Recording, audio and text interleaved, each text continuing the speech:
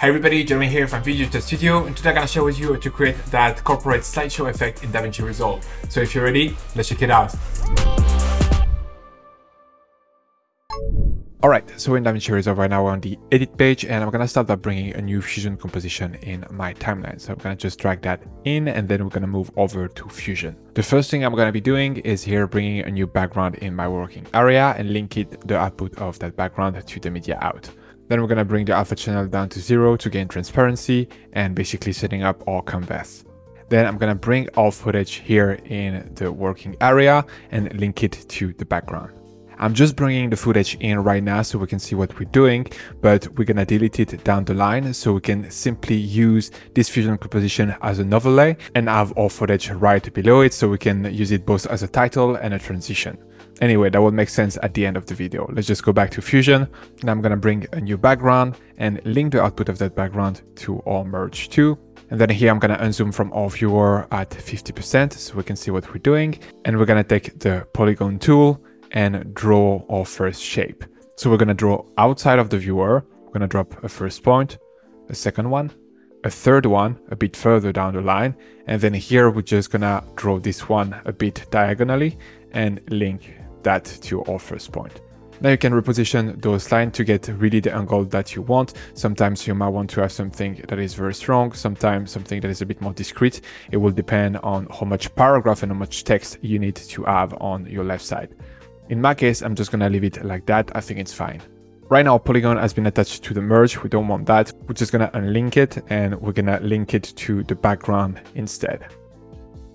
Now we're gonna change here the color from the background from black to white. And as you can see, we've created our first shape. If we're moving the shape around, as you can see, once we'll animated it, that will serve as our transition.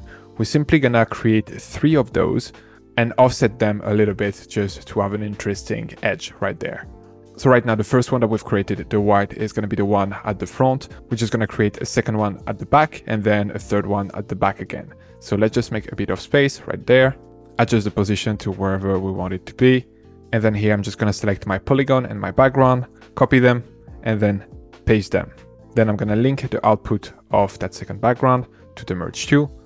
And now we're going to go over to background and we're going to switch from solid color to gradient and right now I'm gonna go with a blue gradient, selecting the first color being blue and then selecting the second color being cyan. Now let's just move the position of the polygon. It's important that we do it before or white because otherwise it will just be in front. For example, here, if I were to bring it at the front, the blue will be at the top. So that's not what we want. We want to have the blue in the background and the white at the top. Now let's make a quick adjustment to our gradient by going over to the background and then here we're gonna adjust the position of that gradient. We're gonna bring the blue up there and the cyan down there. Just gonna make it look a tiny bit more interesting. All right, good. Now let's make our third bar, which is gonna be a glass morphism effect. First, I'm just gonna zoom to fit so we can see a bit more what we're doing. Then here I'm gonna copy my polygon and background again and paste them.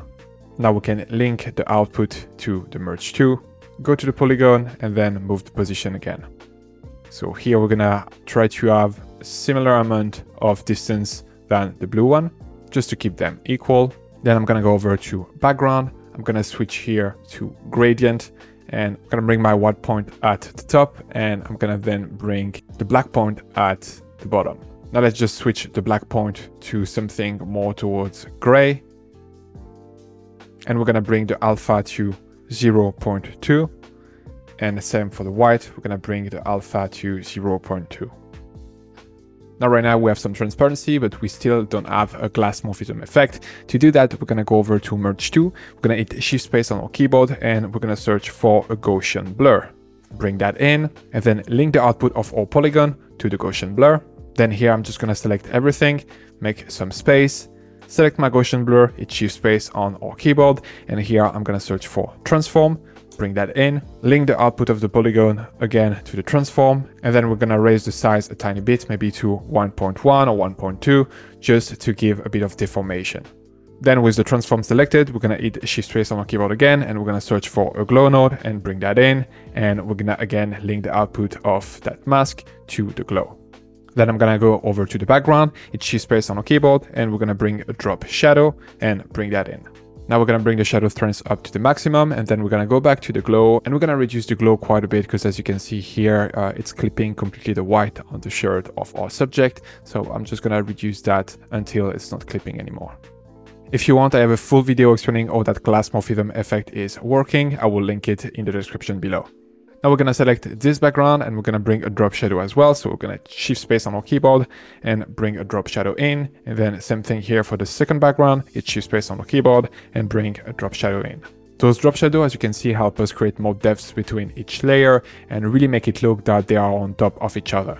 Now that we've created our solid, let's just animate them. So we're gonna make an animation on 16 frame. I'm gonna start with our first polygon, the white one right there. We're gonna drop a keyframe here on the position, and then we're gonna go at frame zero and bring it outside of the frame until we don't see it anymore. Now I'm just gonna copy that value because we're gonna reuse it for the two other solid. Let's move to the second polygon, the blue polygon. This time we're gonna go at frame 17, we just want to have a tiny bit of delay between the two. So we have a very short offset between each layer, just so they don't arrive at the same time and it looks nicer. I'm gonna drop here a keyframe on the center position, and then we're gonna go at frame one again, because we want to have a tiny bit of delay. And then here, I'm gonna paste the value that we copy from the white solid. Then we're gonna repeat the same process for the glass solid. Let's just go to the last polygon. And then here we're gonna go at frame 18, drop a keyframe on the center position, then go to frame 2, and then here copy the value that we paste from the white solid. Now let's go over to the spline editor. As you can see, we have all our polygon. Let's just click zoom to fit, and then here just select all the point that we've created. Hit S on your keyboard to just smooth that out. Then hit T to bring the ease in and ease out. And then we're gonna adjust the curve by bringing the ease in to 85. Enough for it, we got our solid moving. That's gonna serve us as a transition. Now let's just move on to creating the text. So to do that, I'm gonna just make some space here between my merge and my media out. And I'm gonna start by bringing a first text node right in, then link the output of that text to my merge 2 to bring it to the main composition. And here we're gonna write our first line. In our case, let's just write corporate, enter slideshow. We're gonna change the font for Poppin and then here we're going to change the color for black, but not exactly black, more of a gray. It usually look a bit nicer in my opinion. Then here we're going to put the V anchor to the top and we're going to put the H anchor to the left. Now let's move that around. Let's reduce a tiny bit the line spacing and bring that down a little bit more. Now let's bring our second text, link the output of that text to our merge 2 and then here write whatever longer paragraph text that we want. So in our case, I'm just gonna write the description of this tutorial. I'm gonna change the font for Poppin once again, but this time we're gonna put it as regular. I'm gonna go back to my text one just to check the color that we selected prior. So here that's just 222. Let's just copy that and then we're gonna use the exact same color here on the text too. So paste it, we're gonna also anchor the V anchor to the top and then the H anchor to the left and reduce the line spacing a little bit as well. Then let's just bring that in. Now we need to, to bring that text size down considerably, so let's just do that. Here I'm gonna readjust the line spacing and now you can just play around with the spacing within your text box, just so the text is just lined up properly with each other. Me, I'm just gonna make some modification to the writing in the text because I would like it to feel a tiny bit more the frame. Alright, good, but by making my modification right now I've realized that that didn't anchor it to the top, but I've done it to the bottom. So let's just switch that. So it's to avoid that now. If you were to add some text, as you can see, the text isn't moving uh, to the top because we've anchored it to the top. Right now, right before, I've just anchored it to the bottom, meaning that now if I'm adding some line, as you can see, the text is moving and it's just destroying the design. So we want to avoid that. It's similar to the anchor left. Now, if we add, you know, uh, any text, the paragraph is not displaced because it's not framed in the center. It's just adding the text only to the right side. Right now, let's just adjust the spacing a little bit. I'm then gonna bring a new background in my working area, link the output of that background to the merge, and then here select the background and bring a rectangular mask. We're gonna bring the corner radius up to the maximum, and then adjust the height to reduce it to make it just a small line. Let's just reduce the width as well. and adjust the position. Here, I'm just gonna put it right above my paragraph. I'm gonna go over to my background, then switch from solid color to gradient. And we're gonna use the same gradient that we've used uh, for our solid. So I'm gonna go and switch the black here to blue. And then I'm gonna switch the white to cyan. Now we're gonna adjust the position of the gradient point. Good, I'm happy with that. And now let's just adjust the position of our first text. So we have an equal amount of space between the two. Now I'm realizing that this text is a bit too thin compared to our header. So I'm just gonna switch here from popping regular to medium, just to make it a bit thicker and make it a bit more consistent in my opinion. Now, for example, we could add the logo of the company right at the top. So let's just bring the DaVinci Resolve logo so I'm just gonna take it and drag it here in our working area and then link the output to our merge. Now we can select the media and then each space on our keyboard, search for transform and bring a transform node in and we can adjust the size and position. And now we're done with the layout, let's get on with the text animation. Let's start with our text one by selecting it and bringing a rectangular mask. Then we're just gonna frame that mask around the text by reducing it and then bringing it in frame properly like so. All right, let's just select our text one, then right click on the text box and select follower, then go to the modifier. And then here we're gonna switch from between each character to between first and last character. And we're gonna put the delay at five. Then we're gonna go over to shading, go to frame 22 and scroll down, drop a keyframe on the offset at zero. It prompt open another window, but we don't care about that. Let's go back to the follower and go to frame six, scroll down again, and then bring the offset outside of the mask. So it's basically the position of the text. If we play it, let's just create a simple animation we're simply going to do one last thing by going here uh, midway when the text is getting out and we're going to go over to our rectangular mask and we're going to adjust the soft edge by increasing it a little bit just so it's not so harsh when it get out of the mask. Then we can go over to our spline and now we have a bunch of point placed and trying to identify which one you want. Uh, an easy trick is simply here to go and select show only selected tool. Now only the node that is selected will appear in your spline editor. So then you can just select your point, hit S on your keyboard, and then adjust the ease in to 85. And now we have a smooth animation for the header. Now let's make an animation for the line. To do that, we're simply gonna make an animation on the width. So I'm gonna go at frame 22 and I'm gonna drop a keyframe here on the width. And then I'm gonna go at frame 8 and I'm gonna bring the width down to zero. Now I'm gonna click zoom to fit because I have my rectangle selected. I have only the rectangle appearing. I'm gonna select my point, hit S on the keyboard, and then adjust the ease in to 85. Now let's make the animation for the paragraph text. I'm gonna go over to text 2 and I'm gonna select my ellipse mask. Then I'm gonna increase the soft edge a little bit just so it's not so harsh on the text and we have a nice feathering. I'm gonna go to frame 28 and I'm gonna bring the mask over to the text, then drop a keyframe on the position, and then we're gonna go at frame 10. Then here I'm gonna drag the mask out, so it's just uncovering the text. Now let's click zoom to fit once more and select all all point, hit S, bring the ease in to 85. And the last one to animate is our DaVinci Resolve logo. So we're gonna go over to transform. And for this one, I'm gonna go to frame 15 and I'm gonna drop a keyframe on the size and then I'm gonna go over to frame 6 and I'm gonna bring the size down to 0. Then same here, I'm gonna select my point, hit S on the keyboard and bring the ease in up to 85. Alright, so now we have our final animation. Let's see together how to use it properly.